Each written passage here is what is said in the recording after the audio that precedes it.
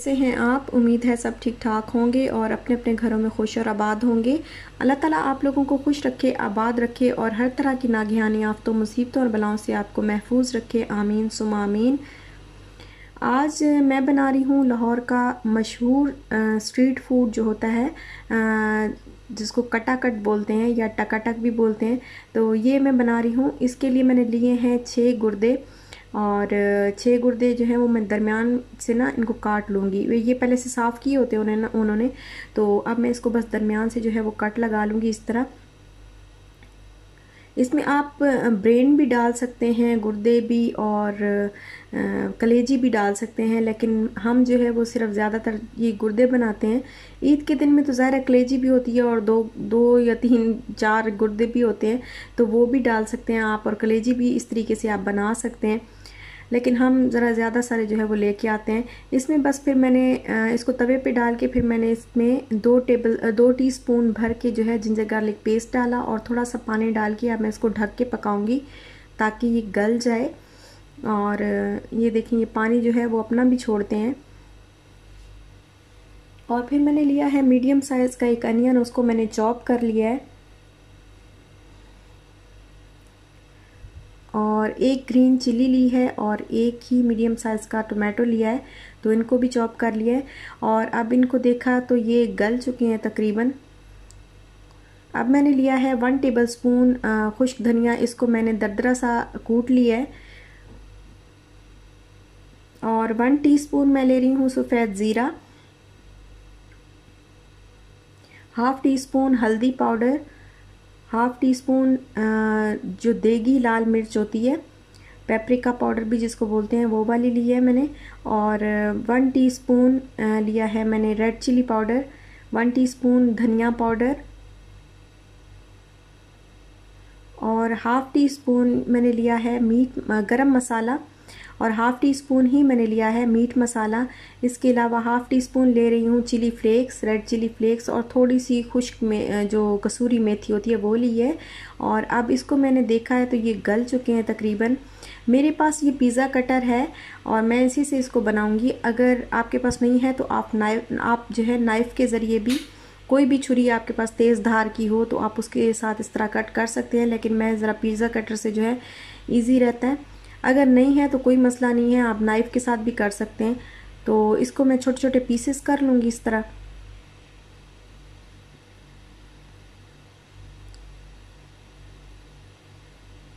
और अब ये देखें, इसका पानी जो है वो बिल्कुल खुश्क हो चुका है। इसको मैंने तवे पे ही ड्राई कर दिया और अब मैं इसमें दो टेबल स्पून भर के ऑयल के डाल रही हूँ। और सारे मसाले जितने भी हैं वो भी साथ में मैं ऐड कर लूँगी। बस जो चिल्ली रेड चिल्ली है ना, वो मुझे ज़रा ज़्यादा लग रही थी तो मैंने ज़रा तकरीबन हाफ़ टी स्पून आप ले लें तो वो फिर मैंने कम कर दी। और साथ में ही अनियन में डाल दूँगी और इसको फ्राई करूँगी, सारे मसाले मिक्स करके अच्छी तरह फ्राई कर लूँगी। और ये बहुत मज़े का बनता है। थोड़ा सा इसके ऊपर पानी डालेंगे ताकि ये अच्छी तरह मिक्स हो जाए और फ्राई हो जाए।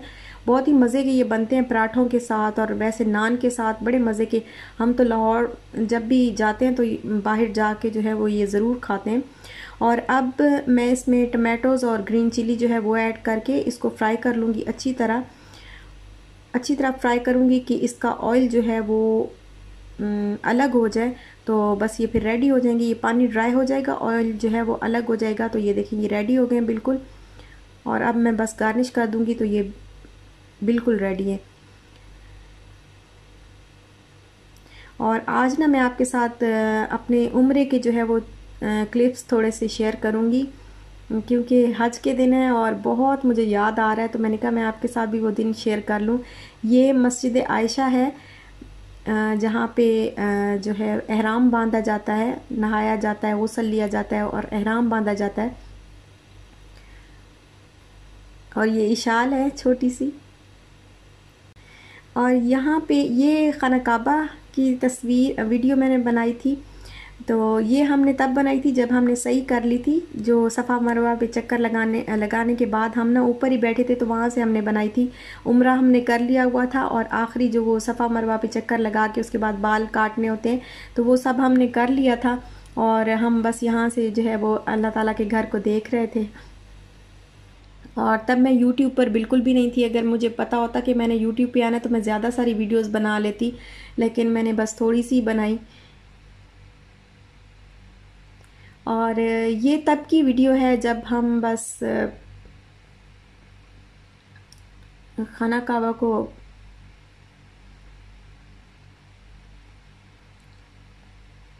बस ये आखिरी वीडियो है।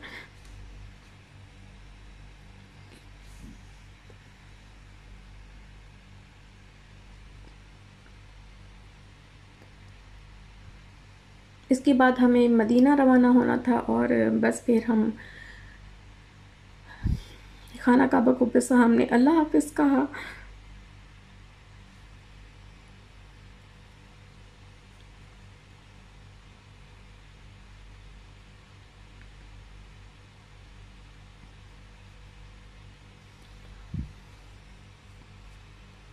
और ये भी आ, मक्का की है हरम शरीफ की शाल जो है वो किसी बच्चे के साथ खेल रही थी। छोटी सी थी शाल।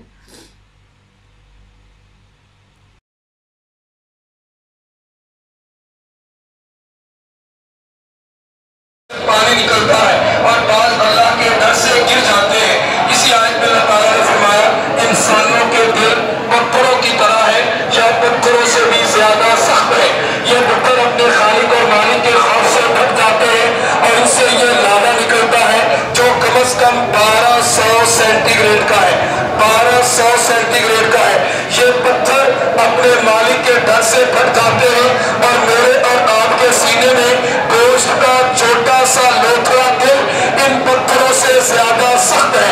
ये पत्थर अल्लाह के डर से भटकाते हैं और इनसे आग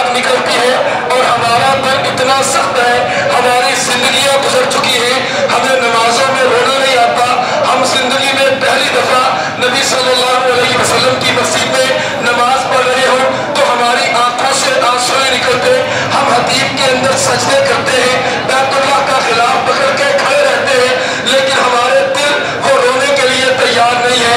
अपने दिलों को सख्त मत कीजिए, अपने दिलों को नरम कीजिए। इस दिल ने अल्लाह के आगे खड़े होकर इस ज़िंदगी का हिसाब देना है। अल्लाह के लिए अपने दिलों को नरम कीजिए, अपनी आँखों से आँसू अल्लाह के आगे बहाइए, अपने गुनाहों को अल्लाह के आगे बैठ कर माफ़ करवाइए। नबी सल्लल्लाहु अलैहि वसल्लम ने फरमाया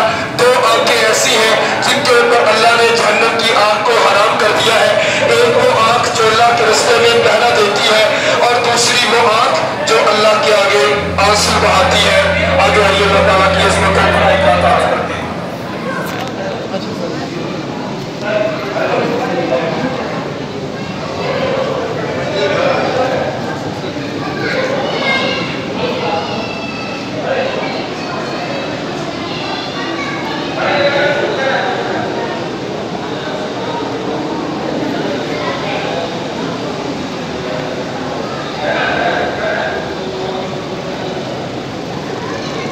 आगे आ जाए एक तरफ़ आ रहे हैं मर्द इस तरफ़ आ रहे हैं और तेईस तरफ़ आ रहे हैं मर्द इस तरफ़ आ रहे हैं और तेईस तरफ़ आ रहे हैं एक साथ बोल रहे हैं जेंट्स मर्द इस तरफ़ और तेईस तरफ़ अल्लाह रब्बुल आलमीन का तारुफ करवाने के लिए अल्लाह ताला के नामों की एग्जीबिशन और नुमाइश का ये तीसरा हाल है इसके अंदर अल्लाह रब्बुल आलमीन के वो नाम और वो मखलूक़ात हैं जिनसे अल्लाह रब्बुल आलमीन की असमत व बड़ाई का अंदाज़ा होता है असमत व बड़ाई वाले नामों के हाल में हम आपको अल्लाह ताला की सिर्फ़ दो मखलूक़ात का तारुफ करवाएँगे अपनी अपनी जगह पर आराम से खड़े रहिए और उस तरफ़ देखिए कुछ दरख्तों की तस्वीर है जिनकी में से आपके सामने सबसे पहले ये सूरज है जो हमारी ज़मीन से कितना बड़ा है?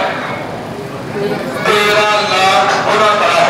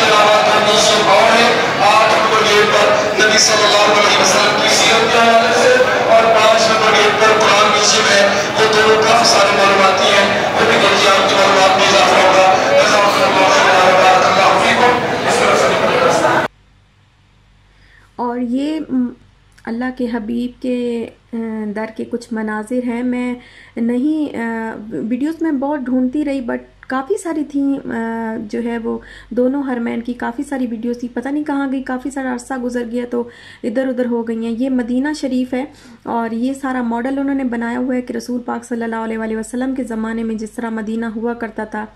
और ये देखें, ये हजरा आयशा और हजरा सौदा और ये सारे उनके जो अजवाज मतहरात थी, उनके हुजरे और सारा मॉडल पूरा बनाया हुआ है। मस्जिद नबवी का मॉडल है ये। और कच्चे घर होते थे, लेकिन दिल जो है वो सोने की हुआ करते थे। तो बहुत प्यारा ज़माना था। और ये है मदीना मुनवरा का सारा पूरा पूरा मदीना उस तरह जब उस ज़माने में जिस तरह मदीना आबाद हुआ करता था, ये उसका पूरा मॉडल उन्होंने बना के रखा हुआ है। तो ये म्यूज़ियम म्यूज़ियम बनाया है और यहाँ पे ग्रुप की सूरत सूरत में वो लेके जाते हैं अंदर। और अभी भी मुझे याद जब भी मैं, याद आता है तो बिल्कुल आँसू आ जाते हैं आँखों में। और ये देखें, ये मदीना शरीफ, ये मस्जिद नबी का सहन है। और बस यहीं तक था मेरा आज का व्लॉग आपको अच्छा लगा हो तो लाइक शेयर सब्सक्राइब ज़रूर करिएगा। अपना ख्याल रखिएगा, अपने प्यारों का भी ख्याल रखिएगा। इन फिर मिलते हैं नेक्स्ट व्लॉग के साथ। तब तक के लिए अल्लाह हाफिज़।